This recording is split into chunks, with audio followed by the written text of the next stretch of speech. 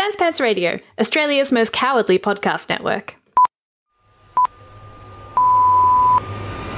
This is News Fighters, where we fight the news so you don't have to. with Dylan Behan. Yes, hello, fighters. Welcome to News Fighters for today, the 14th of August, 2021. News Fighters, helping you buy better. Presented by me, Dylan Behan, the Lionel Messi of wacky news clips. Coming up on today's show, my guest is Dominic Knight from The Chaser, here to talk about their great daily news comedy podcast, The Chaser Report. We thought if you're going to do a news podcast, make it daily. Hmm. Go on, make it daily. And we didn't really figure out how much time that would take. Um, so it's become quite a beast. But first, to our main story. Zambians are set to go to the polls in what is seen as a crucial election for the future direction of the African nation. Yes, that's right. Finally, on News Fighters tonight, we're doing a deep dive on the Zambia election. Will President Edgar Lungu receive a second term? no, just kidding, of course. There's nothing else to talk about, so once again, I'm covering New South Wales's. Delta farce. Yes, we're in our seventh week of lockdown in Sydney now, and with the Olympics over, I guess for distraction, I'm finally going to have to bite the bullet and start watching reality TV. And uh, this promo for the block actually really excited me. Monday, must see bathroom week begins. Yes, coincidentally, bathroom week is also how I'll be spending my annual leave this year. Just kidding. I've never had annual leave in my life. Anyways, uh, I'm over this crap. I don't know about you. I'm just over it. I'm tired of COVID. I'm tired of the depressing news every day. Let's just just play the depressing montage of clips that shows how badly New South Wales stuffed up the Delta outbreak this week. Roll it. Gladys Berejiklian has effectively abandoned her target of zero COVID cases as the Delta strain spread to a record number of people today. This is clearly our third wave. Overnight, there were 390 new cases recorded. Less than half of today's cases were isolating while they were sick. What we are doing isn't working. It's going to be a rocky few months ahead for New South Wales. The Premier has revealed life won't start returning to normal until November. Fears lockdown conditions could extend till Christmas. The New South Wales government saying today the health system is under stress. It couldn't be worse.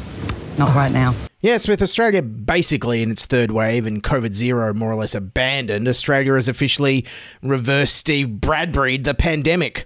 We were within sight of the finish line and we've tripped and fallen and let New Zealand win the race. New Zealand! Yes, and uh, here's New South Wales Premier Gladys Berejiklian summing up where we're at. You're all gonna die! Sorry, wrong clip. Here it is. We now have to live with Delta in one way or another, uh, and that's pretty obvious. And with case numbers where they are, unfortunately, if you live in those local government areas of concern, there is a high chance now that you could get the virus. Yes, good job, New South Wales. So, in summary, You're all gonna get the virus. Thanks, Premier. It's all very depressing right now. I wish someone could just take me back to the beginning of this outbreak when all we cared about were those hilarious sunbakers who startled the deer. Those were the good old days. Two men sunbaking nude on a beach on the south coast, apparently caught after they were startled by a deer. They were caught buck naked. Buck naked. That old one. The men were chased into the Royal National Park and got lost. Sparking a search by the SES, paramedics, and police helicopter. Each fined a cheeky thousand dollars. Certainly a story that raises more questions than answers. So, anyways, back to today, and things have been getting a bit out of control this week with Delta spreading absolutely everywhere, even to places nobody wants to go. Well, Canberra's first local COVID case in over a year has sent the ACT into a seven day lockdown. The ACT will enter into a seven day lockdown uh, from 5 pm tonight. We also have positive wastewater detections around the ACT. Yes, hard to believe they managed to detect COVID in the Canberra wastewater over all the weed and fireworks in there. Yes, and with lockdown now, people in Canberra are going to have to do absolutely nothing but at home for a change. Ugh. And I can say that because I lived in Canberra. Thankfully, there has been one upside. Scott Morrison has an election looming within a year, and he now can't travel the country he governs for the foreseeable future. Ah, what a shame. Uh, COVID's also spreading into rural New South Wales, sending even more places into lockdown. An outbreak in Dubbo has seen the city go into a seven day lockdown. Yes, I'm sorry. So, sorry, what? City of Dubbo? Have you even been to Dubbo? That's a little bit generous, don't you think? Lockdowns have even spread to the country music region of rural New South Wales, as if life wasn't depressing there enough already. Also under lockdown, Armidale and Tamworth. As a precaution, uh, the health experts have recommended that we lock down Tamworth for one week. Yes, now the men, women, children, and dogs of Tamworth and Armidale are now hiding in their homes, and it's not just because Barnaby Joyce is in the area like usual. In fact, most of the population of New South Wales is now in lockdown, but uh, you know, we, we like to roll our lockdowns out very, very slowly here, like an art house film release or a life saving vaccine. From Byron to Bourke to Shellharbour and the entirety of Greater Sydney and Hunter Valley, around 90% of the New South Wales population is now locked down. The local government areas of Walgett, Bogan, Bourke, Brewarrina, Coonamble, Gilgandra, Narromine, and Warren will all be under the stay at home orders. If you're having trouble keeping track of where in New South Wales is in lockdown, I recommend setting it to that I've Been Everywhere song. I've been everywhere.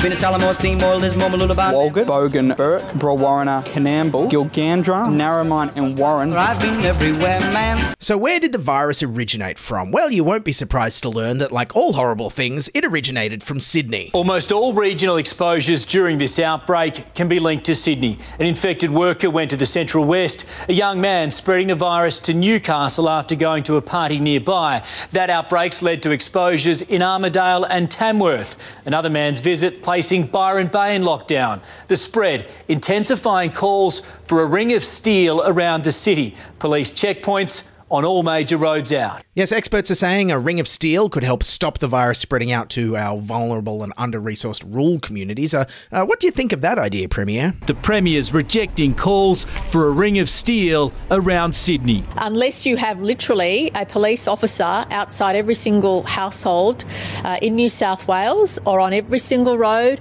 uh, a ring of steel does not prevent Delta from seeping out. Yes, forgetting the fact that thanks to our obsession with tollways in this state, Sydney actually only does have like five main roads out of it. But, anyways.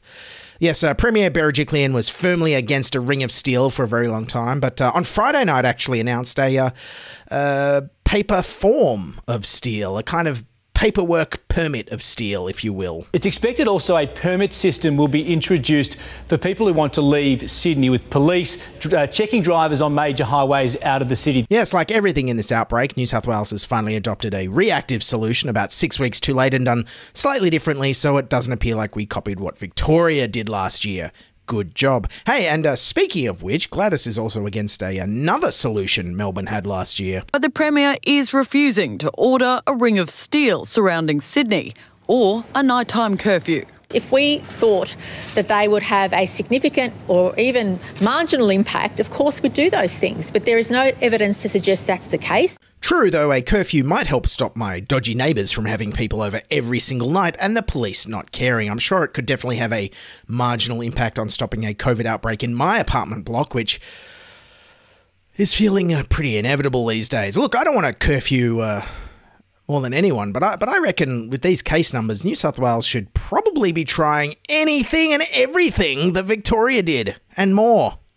And COVID isn't just taking over our regions, it's also taking over our regional delicacies. Tonight, thousands of KFC customers are ordered to isolate as staff test positive. A dozen staff at the KFC on Canterbury Road at Punchbowl now have the virus. Anyone who visited the store at any time last week is now a close contact. Of course, the obvious problem with getting COVID 19 at a KFC is that if you start suffering, from a fever, headache, chills, and diarrhea, you automatically just blame the KFC you ate. The KFC outbreak highlights that uh, much of the transmission happening in Sydney at the moment is in workplaces. In fact, uh, my local independent chicken shop near where I lived closed last Sunday due to a positive COVID case in a worker. And uh, as of Friday night, when I'm recording this, it's still not listed on the New South Wales Health Exposure site list. So good job on the contact tracing there, guys. Really, really instilling confidence. Here's New South Wales Chief Health Officer Kerry Chant discussing how our workplaces are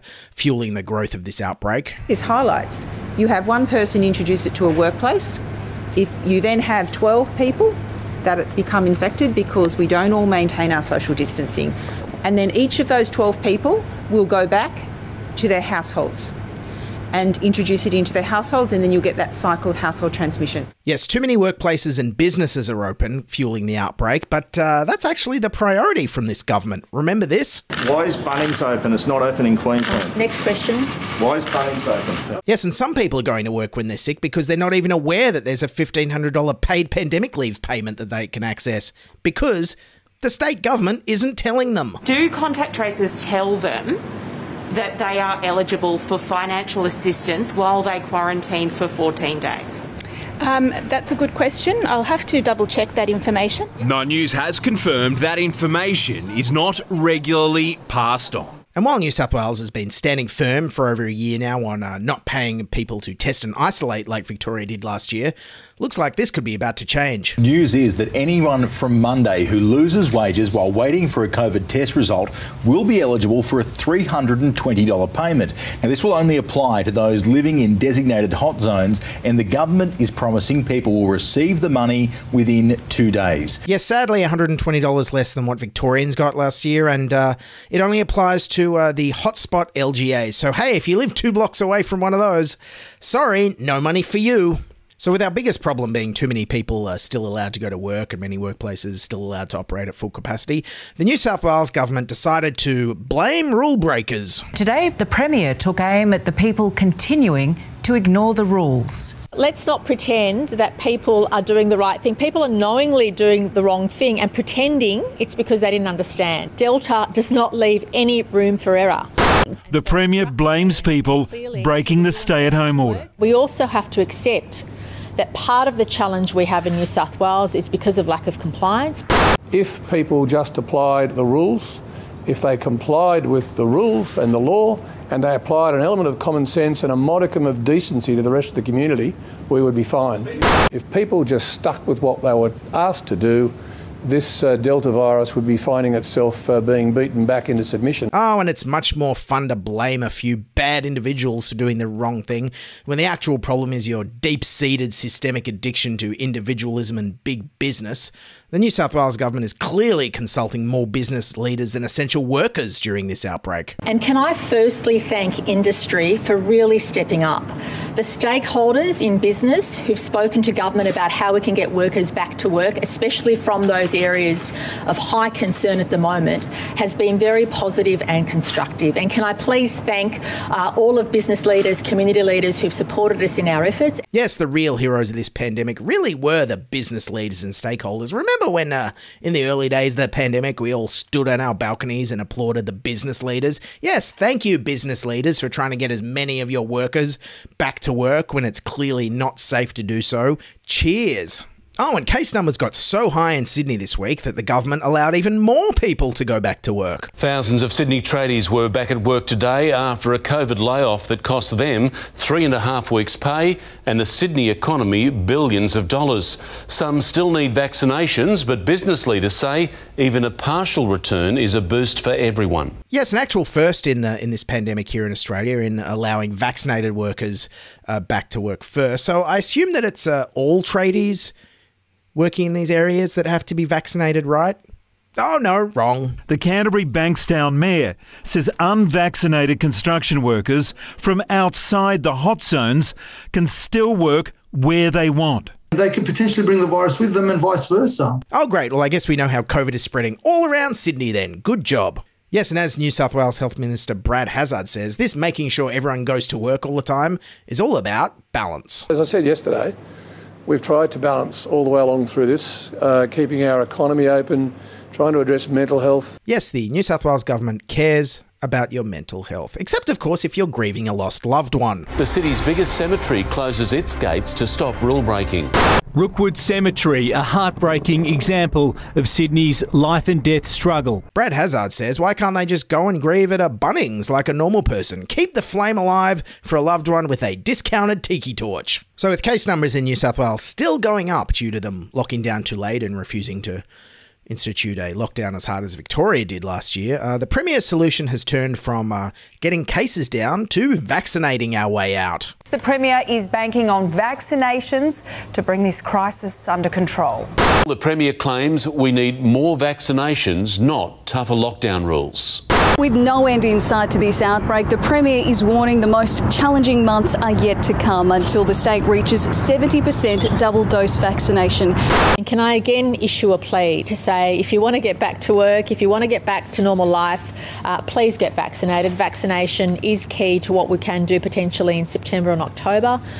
This has been the experience overseas in provinces throughout Canada that a targeted vaccination program in those areas of concern has strong evidence of reducing the spread and allowing communities to live more freely. And that's why we're really appealing to people to consider their options. Oh, yes, let's follow the Canadian example. I did a whole episode on this earlier in the year. Let me cast my mind back. Oh, now I recall. That's right. Ontario had 9,000 deaths and reached 4,000 cases a day during Toronto's like eight month lockdown, which saw inside dining in some restaurants closed for over a year and children's hospitals forced to admit adult patients into their ICUs, all because their similarly pro business, pro freedom Premier Doug Ford refused to lock down early and hard and tried to vaccinate his way out. That's a great example for you to follow you absolute morons. And that was only with the alpha variant. You know, we're, we're trying to, as I mentioned yesterday, Rob, we're trying to have this happy balance.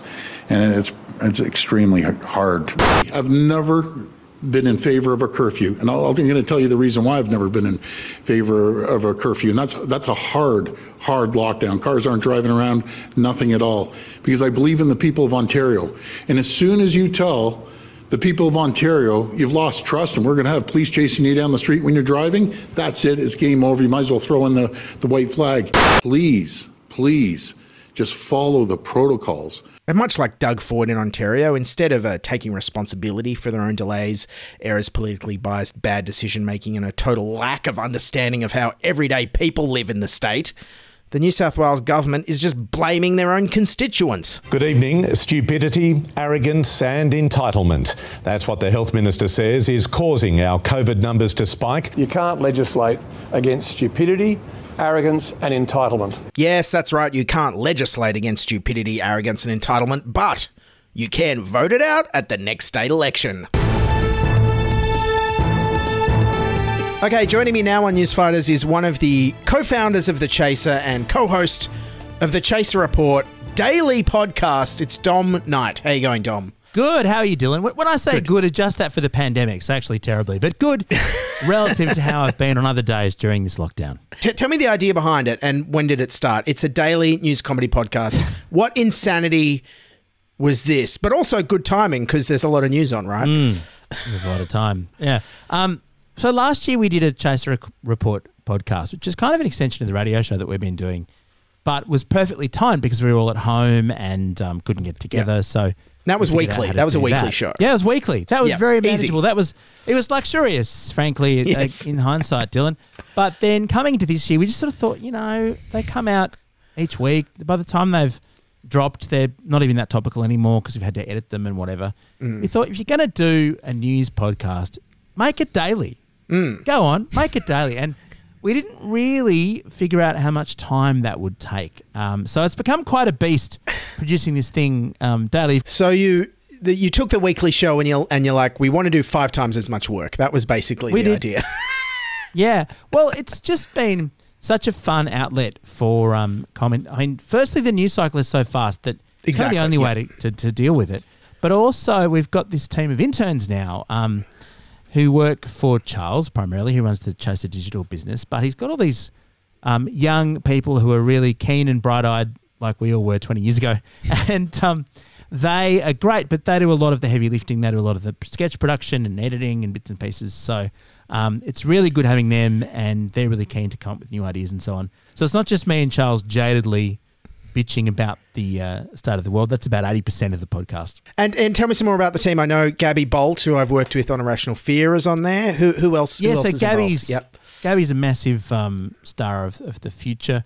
Um, we have uh, Lachlan Hodgson, who does a lot of the writing for the website. We've got um, Xander Savania, uh, who's a bit of an audio whiz, and Alexa Vulovic. He's done some of the stunts. So there's an amazing stunt that he did where he infiltrated a sort of arms conference, like literally – a weapons yes. sales conference. It's all up on the Chaser website to go and look at yes. Uh, it's all up on the Chaser Facebook actually to go and look at the video, and he brought a bag full of like plastic arms. There you go. Is such a dumb stunt. It's very reminiscent of our Very cha- wouldn't be a chaser moments. stunt without some wacky props, would it? Wacky props. That's right. Exactly it. So, but they're great because they want to go out and do all that kind of stuff. And um, the pandemic has made things very challenging in terms of audio production and just not being able to get in the same room. But we're just muddling through, and still, we still haven't given up the daily podcasting dream just yet, Dylan. It's probably next week. And look, when I worked on Tonightly, and I love the catharsis of making daily comedy. Are you loving that as well? Like something, ScoMo says something, and you can poke fun at it straight away before it gets old. Like, surely you must enjoy that side of it, doing it daily. Well, yeah, it's like I mean, we really like doing the daily radio show that we did, and I've done a lot of um, daily radio, just sort of solo with more serious bent. It is great because you need to have that immediacy, or it's just Mm. old news. Like, Mm. and so I think that's the big advantage of doing things daily. Ironically, most of the daily podcasts actually take a bit of a deep dive. So.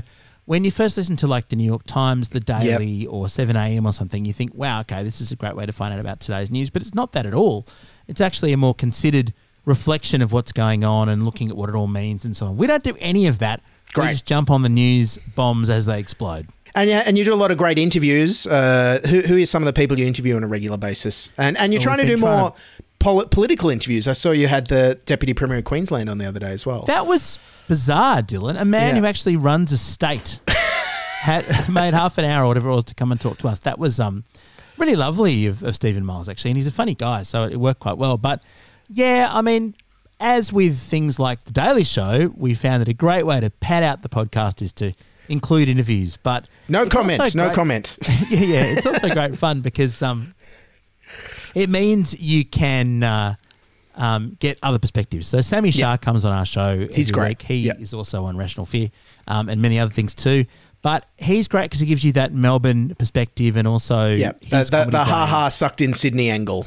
Yes, that's right, which we desperately need. And his comedy brain works differently from from ours, and he's just so brilliant and amazing. So we just tend to sit back and just listen to what he has to say, and he's always got some brilliant take on everything. So it is nice having more voices in it. And were we not daily, you simply couldn't do that. There wouldn't be enough time and space to let people kind of do their thing. And so that's the other plus of it being daily. There's Mm. a whole bunch of people. I mean, Gabby's a perfect case in point.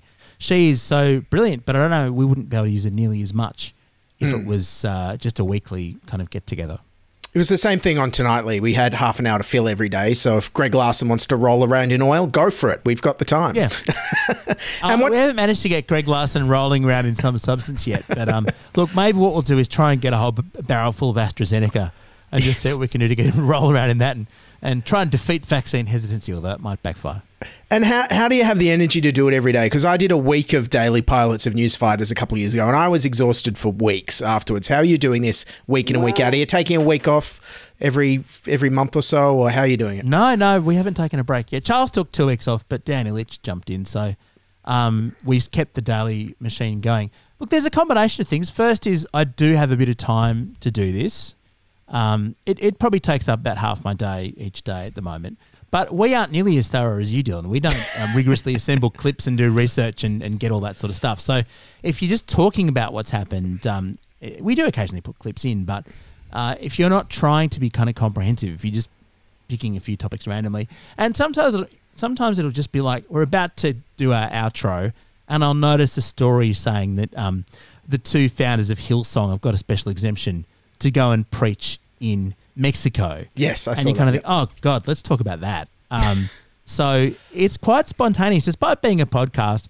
Doing the volume that we do, you just got to take a run at things sometimes, and that's sometimes some of the stuff that works best. Uh, and there's been a no, no shortage of material lately, a lot of um, insane stuff happening. But have you got a backup plan in case there's a, a massacre or a really depressing day of news or an earthquake or something? Like, what are you going to do then? Well, one of the nice things is that because um, we did this radio show, we came up with various segments. So there's Great, There are some things that we do that do not re- rely particularly on topicality. So Welcome to the Future, which is where Charles looks at um, ridiculous Bluetooth devices. That's kind of evergreen. Craig comes up with flawless solutions to things like climate change, which are just ongoing things. So it's not necessarily all in the news cycle, and you can kind of tell from how many segments we have like that in the mix, how hard we've been keen to work on any given day. But to be honest, there's been so much happening with COVID and the ongoing kind of omni shambles of Mm. the government's response. And being in lockdown in Sydney and just the frustration with that, we've been not at all short for material. I actually would like Dylan to have some quieter news days and having the problem of working out what to to do to fill the podcast because it's just been nuts since we started this thing in late May. Well, look, it's you know it's dark times, and it's exactly what Australia needs right now. And uh, and and is it weird? No one else around the world has, has tried to do this. Because when I was I was thinking of doing a daily show, there was no one. Else. I think other people have tried it and given up because it's just too hard. Does that worry there's you? daily there are daily comedy podcasts. Yeah, um, but they're Matt all and Alex, for pre-recorded. Do one. Oh yeah, Matt and Alex. Yep, yep, yep. They're not as yeah. So Matt and Alex, I think, get together every day, and I'm not entirely sure. It's less news driven uh, Mm. than ours, and that's the thing. Being news driven is you're really creating a rod for your own back. But Mm, so far, we absolutely love it, and it's been one of the most fun projects you can do. And uh, the one lazy thing we did do was on Monday we just did a like half hour long interview with Sarah Kendall, comedian from the UK, about Freedom Day over there. So we might do a bit more of that as the year rolls along. But to be honest, being able to talk about the news every day is such an incredible privilege, and there's so much to cover that um, yeah, I think we're just getting started. Best of luck. It's an incredible feat to pull this off. I hope you managed to do it without all burning out like we all did on Tonightly multiple times. Well, to be honest, we did have grand plans to do things with video, as we talked to you about before, um, because you're an expert at that kind of stuff.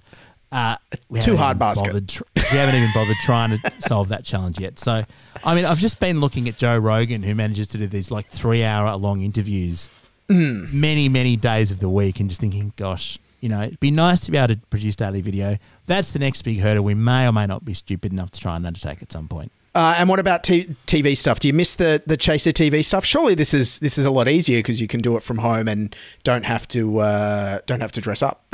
Yes, well, I mean, I was behind the scenes mostly in the Chaser TV show, so that's a lot easier. But um, yeah, I miss the days of having an idea and getting a stupid prop commissioned overnight and going and taking it out into the street. But we're all in our mid to late forties now, Dylan. I, I think there comes a point where no, you Jo- just need John to- Howard would outrun us.